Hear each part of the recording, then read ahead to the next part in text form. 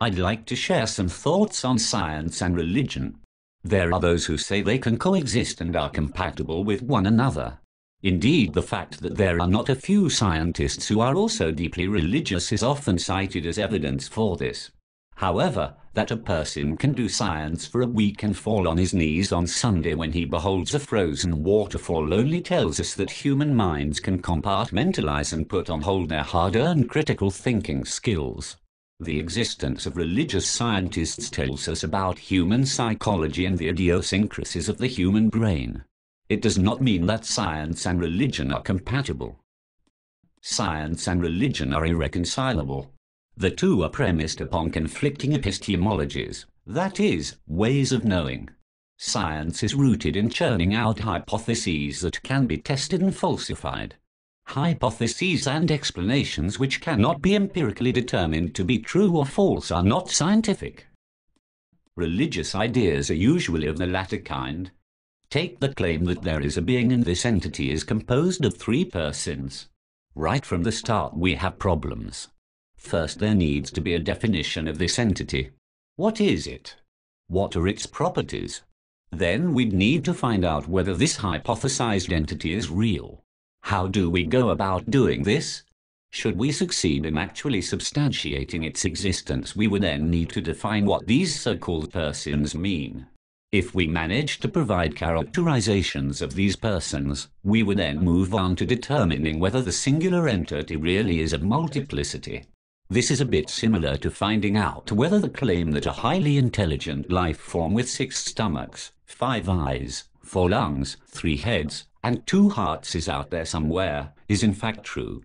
Clearly, proving or disproving this will be almost impossible given the expanse of the universe and our extremely limited capability to study and explore every cubic meter of the cosmos.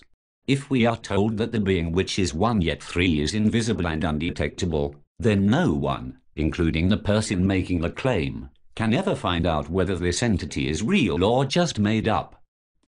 It should be noted that probabilities, though not essential, are of practical importance here.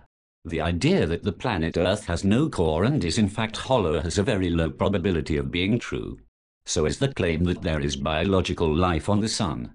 There are very scientific reasons for saying these are highly improbable.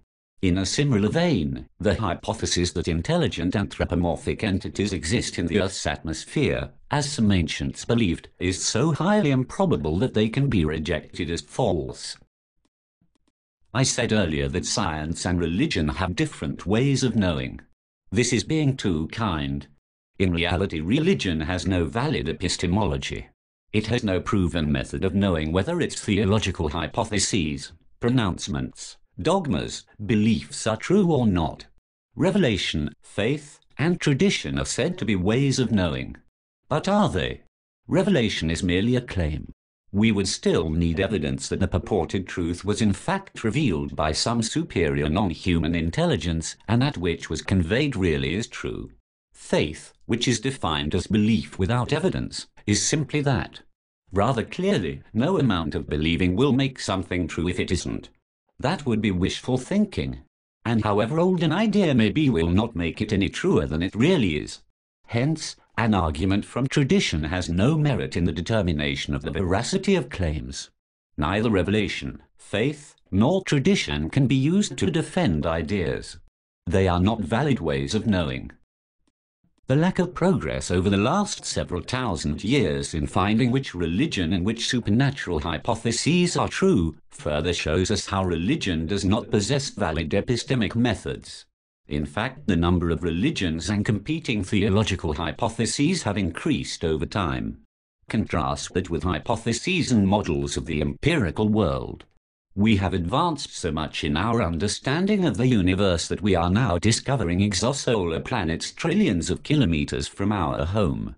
We've also been able to weigh the universe and have discovered that it is mostly likely a flat one, that galaxies will continue to accelerate away from each other until they exceed the speed of light. Science has progressed, it has continually pushed the boundaries between the known and the unknown because it has valid and robust ways of verifying that something is true and ways of finding out what is false. Religion underscores the importance of believing. Science emphasizes evidence to provide a solid foundation for understanding. Religion, unlike science, abhors truth, in the sense that while it may be a fount of ideas, it does not provide any proven means for determining the truth of those ideas. In short, science has the methods to mercilessly rid itself of bad ideas. Religion, on the other hand, has been forced in our day to become a refuge for untested and untestable ideas, as it continues to seek shelter in God of the Gaps hypothesis. Astronomer Carl Sagan once wrote, The reason science works so well is partly that built-in error-correcting machinery. There are no forbidden questions in science, no matters too sensitive or delicate to be probed, no sacred truths. And that is yet another reason religion and science are irreconcilable. Religion has sacred truths. In science, on the other hand, the only thing sacred is the search for truth and our faithfulness to reality.